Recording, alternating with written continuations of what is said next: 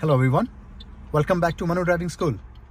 Today's video is about 90 degree parking on your right hand side. So let's get started.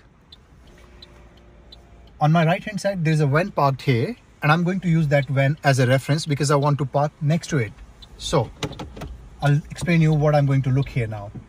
So when I'm moving forward and want to park, make sure your car get at up as opposite as to the parking you want to do. Keep your right indicator on. There are two reference you can always consider in your mind. One, your shoulder should come halfway off the previous parking, like the center of the parking. And your side mirror can go to the white line, the line I'm going to use for my parking. Because I'm driving a hatchback car, and it's a smaller car I can move slightly forward which I'm going to show you so my mirror can go slightly forward to this white line once I'm here my shoulder came a bit forward to the center now I'm going to turn my steering all the way to the right. So here you go guys. All the way to the right. And now I'm going to leave my brake.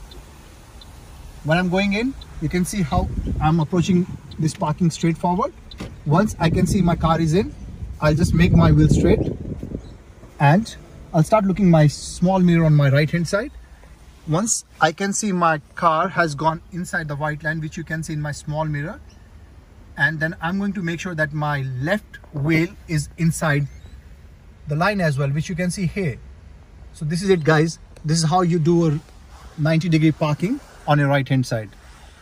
To learn it, please follow our YouTube channel, subscribe us or call us on 044 8099 742. Thank you so much.